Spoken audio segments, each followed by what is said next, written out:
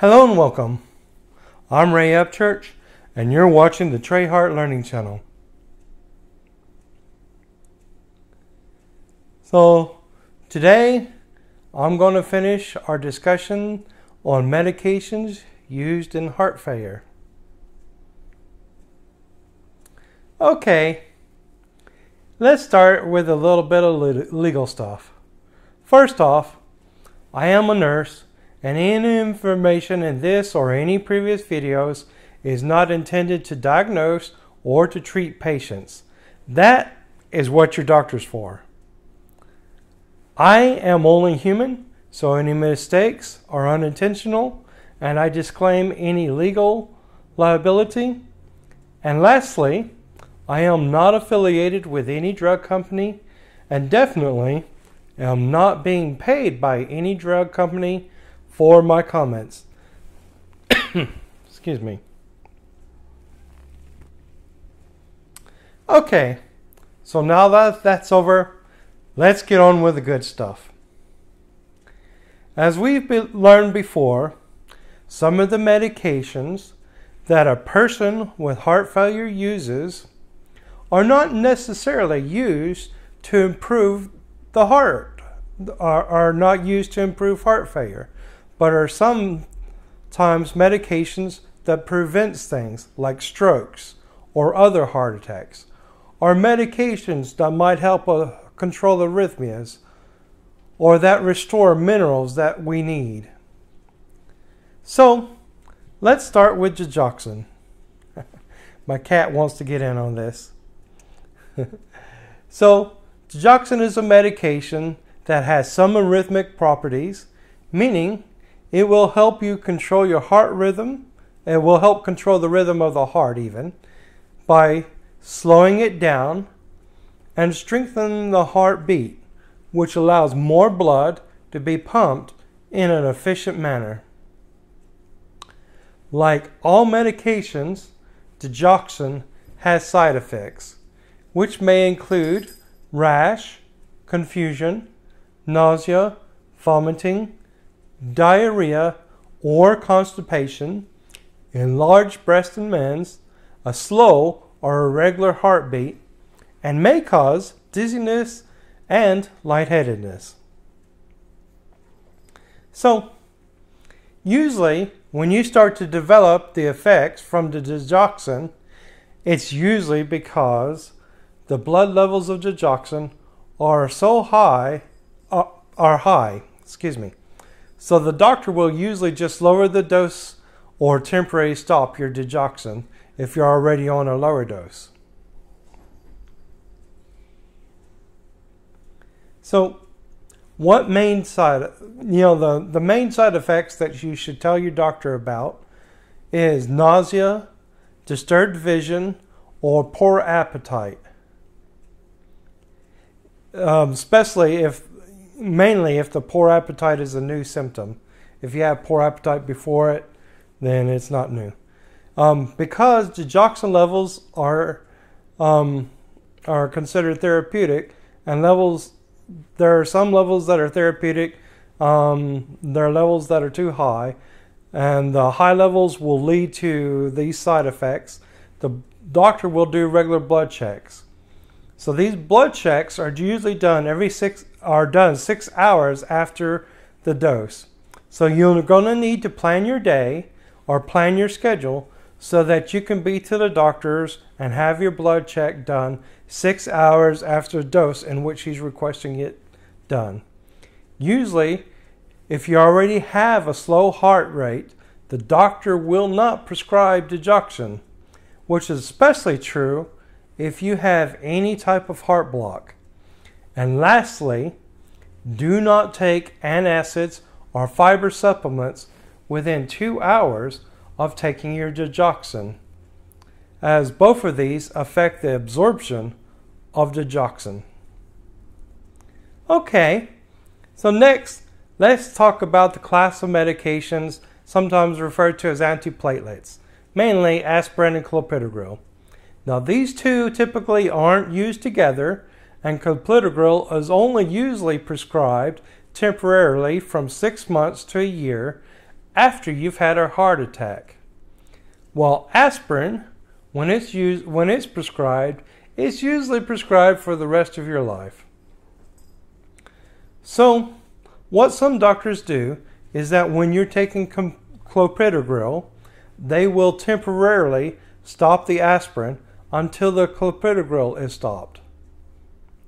And then they will resume your aspirin. Now, both of these medications reduce the risk of clots um, forming by making it less sticky, which reduces the risk of having a heart attack or a stroke. So, both of these have the same side effects, which can include, you know, nausea, vomiting, indigestion. However, aspirin may make some heart failure symptoms worse, especially if you have very severe heart failure. So, some of the side effects associated with aspirin can be less if you're prescribed the enteric coated aspirin. Basically, you'll have less stomach problems associated with it if it's enteric coated. Now, one of the things you need to let your doctor know is if you have any skin rashes develop, any signs of stomach bleeding, and immediately call for help should you develop difficulty breathing, swelling to your face, eyelids, or an asthma attack. Lastly, try to take your antiplatelets, such as aspirin and clopidogrel, with food. And know that some anti inflammatory medications may cause your aspirin to be less effective. And as well, aspirin might not be suitable if you have asthma. So let's also talk about statins and fibrates, also known as cholesterol lowering drugs. Statins include atorvastatin, fluvastatin, pravastatin, rosuvastatin, and simvastatins. The fibrates include bezafibrate and clofibrate.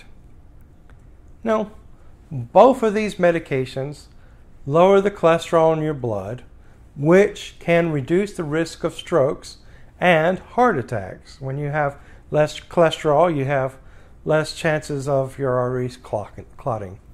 But the main side effects include stomach upset, diarrhea, constipation, and rarely muscle cramps and weakness. Now, statins may have a, a other side effect, which is forgetfulness, but this is usually a temporary thing.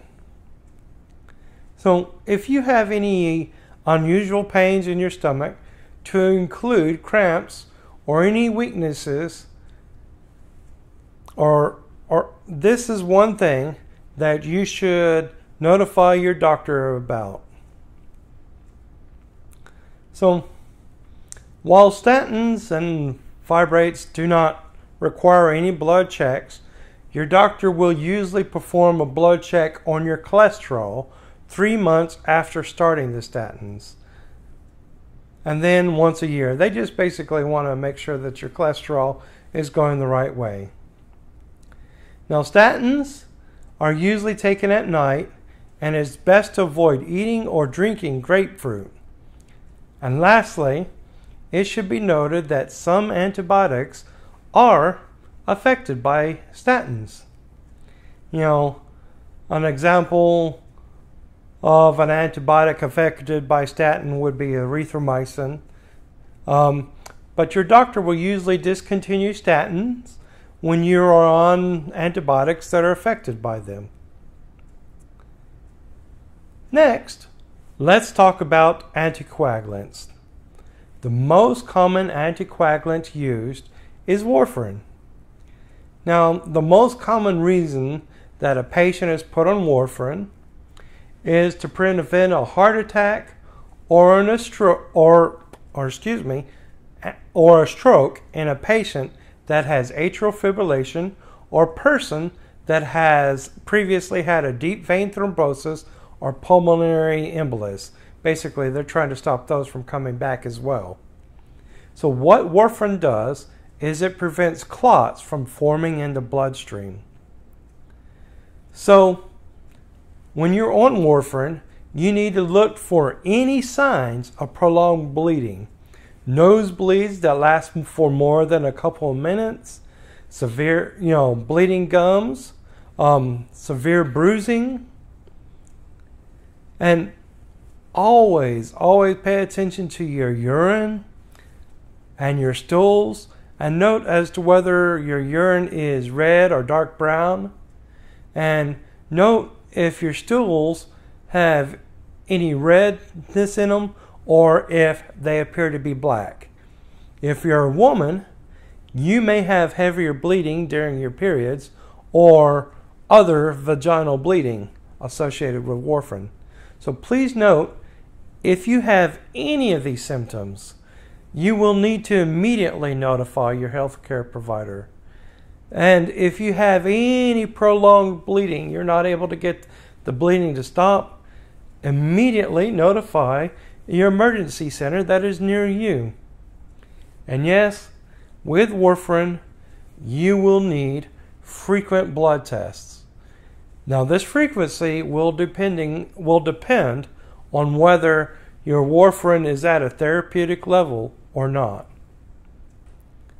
Now, some things you need to know is when you're on warfarin, you should always carry your anticoagulant card with you. Second, always let any new person that is taking care of your health know that you're on an anticoagulant, you know, such as new doctors, dentists, etc. Third, always discuss with your pharmacist and doctor um, before taking any new medications. Warfarin is affected by um, quite a few medications. Fourth, avoid drinking cranberry juice. Fifth, avoid excessive amounts of alcohol, as warfarin is affected by alcohol.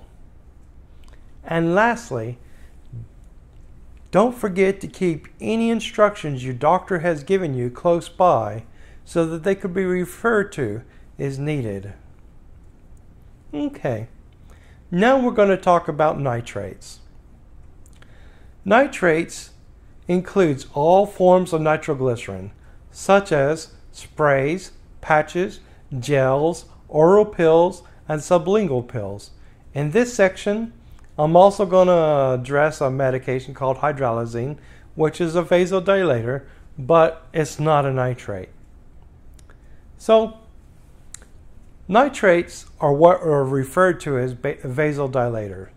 Basically, it means that they cause the veins to dilate by relaxing the muscles in the walls, which makes them wider and allows more blood to flow through them. Now this has some great benefits from your heart for your heart. So nitrates are most frequently used in patients that have angina. A good thing about nitrates is that because of the way they work, they reduce the workload of the heart, which is one of the great things I was talking about. So, what things should you tell your doctor about?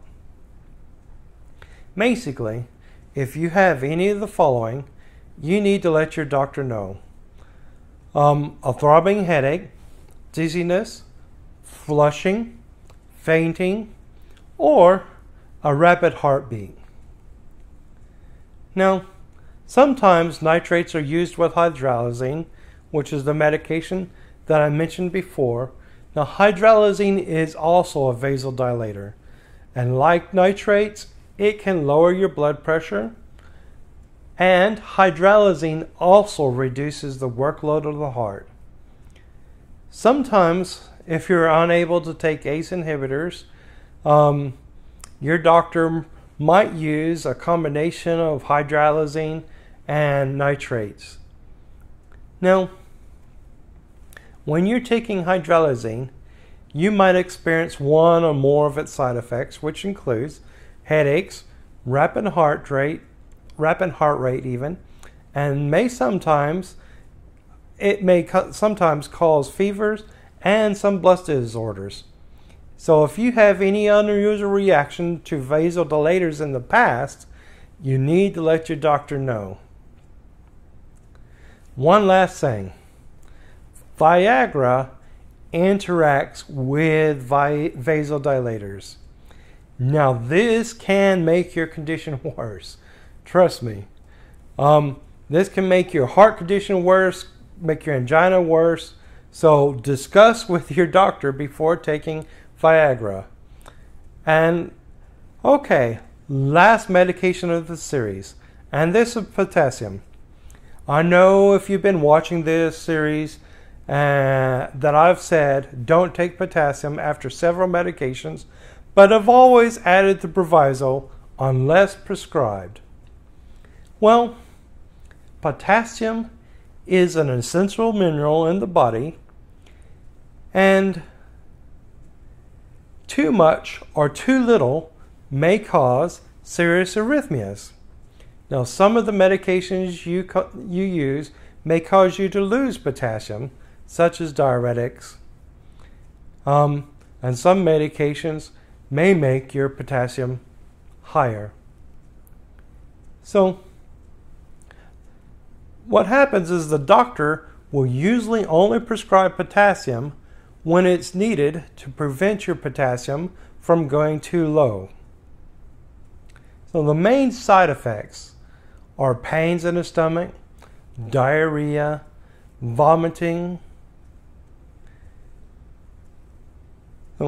All of these side effects should be reported to your doctor, especially if you have a new side effect of chest pain or, or throat pain. And yes, with this, there will be blood checks starting before your potassium is prescribed and then on a regular basis. You should also avoid any salt substitutes, as many of them have potassium, and it may throw off your potassium levels. One final word about medications. Always take medications as prescribed, and remember if you need help remembering when to take them, a DOSA box might be, might be helpful. Lastly, don't forget your healthcare providers are there for you, so don't be afraid to ask questions. And always get clarity on anything you don't understand. Remember, be safe, be informed. All right, our next discussion will be on how you can reduce your risk of further problems. Also, some of the things to look out for in the near future is part two, the cardiac re- rehab series, featuring Debbie Upchurch in an exercise program which can be performed at home by patients with heart failure. I know we had part one a long time ago, so we're going to have part two, and we're going to continue on with that series. So, this is Ray Upchurch. Be safe, be strong, Love, love those around you and cherish each sunrise. And I will see you next time. See you then.